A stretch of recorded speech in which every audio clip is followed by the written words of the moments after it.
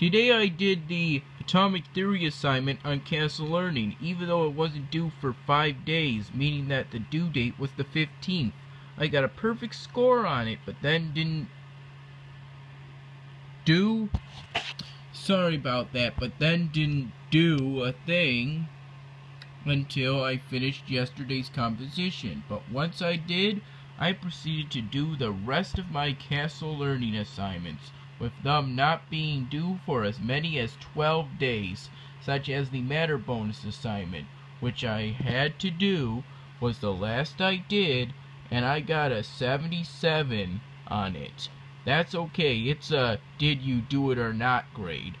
I then finished my heat review, did my one proof for math homework, and then started my CSA for the Specific Heat Lab.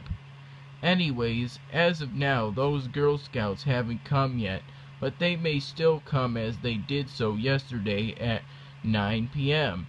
Anyways, I also did my Coke Rewards Codes job, but didn't get paid because I did it before doing my heat review and I was supposed to get all of my homework that was due tomorrow done before doing so.